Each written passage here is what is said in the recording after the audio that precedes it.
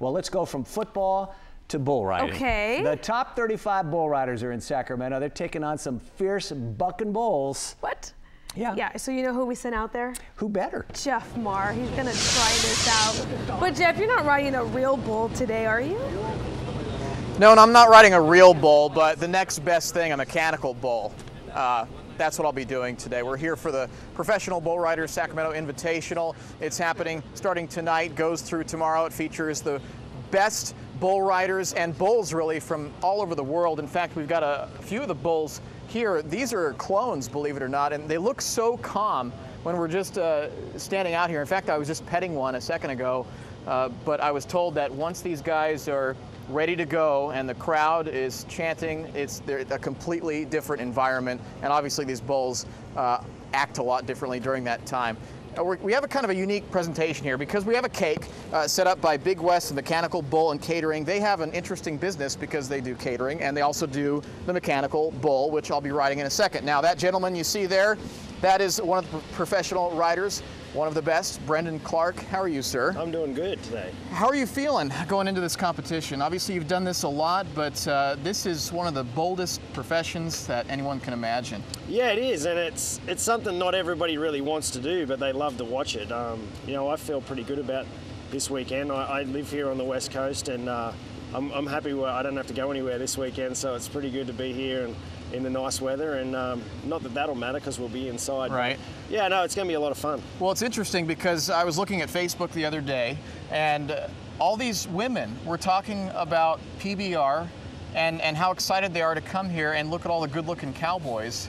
I mean, you must have a, a, a following of women when you come to these things. Well, w- the sport does. I mean, it's a Yeah. it's an interesting um, sport. I mean, bull riding's a, a, a, something that you know, like I said, not everyone can do. So, and people understand that, and they they love the fact that you know we can get on a bull and and try and ride it for eight seconds. We're game enough to do it, and Right. um, you know, because um, most of the women, I guess.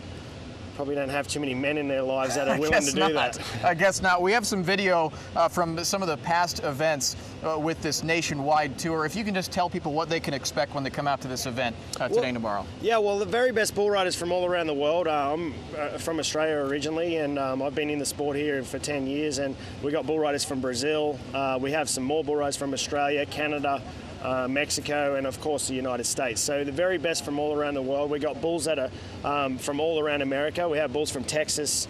Um, these ones here, actually, the owner is from North Carolina, so they were, you know, living in North Carolina. So we got bulls from all over America, the when very best ones. When you're on these bulls, is it a feeling of uh, being terrified or adrenaline or, or both? Because I, I would be feeling, I don't even know what I'd be feeling if I was riding one of these guys. Well, I mean, because we do it for a living, and this is what we do. For, we've done for a long time. I mean, I wouldn't say uh, we're kind of terrified, but there is, you know, it is a very nerve-wracking thing, and it's Yeah. so unpredictable that you really don't know what's going to happen. But Right. um, you know, it's a lot like other sports. You just work at it and work at it till your body knows what's going to happen, and uh, hopefully it can react the right way for what the bull's doing. All right, we got some information to put on your screen for this event. Starts tonight and goes through tomorrow, starting at 8 p.m. here at Sleep Train Arena. Tickets start at 12:50. Brendon, I'm going to have you walk over here with me because uh, now for our big finale, I'm going to ride this mechanical bull. And you know, I was born in Beaumont, Texas. Well, there you're halfway there. I lived in Midland, Texas for Right, two years, so okay. if I do bad here, I'm going to be just, You're- it's going to be an embarrassment. So you're representing Texas I'm right now. representing Texas. So you,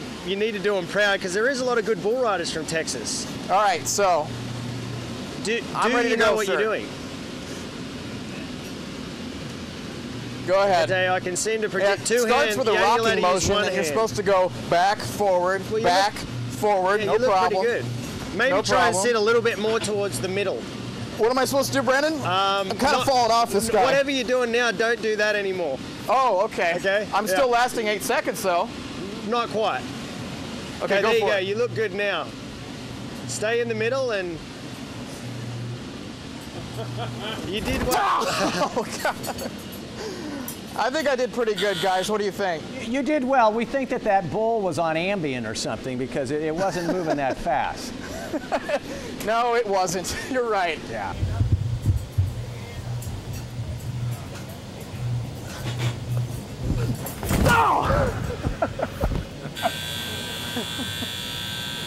Oh. That was about four, maybe.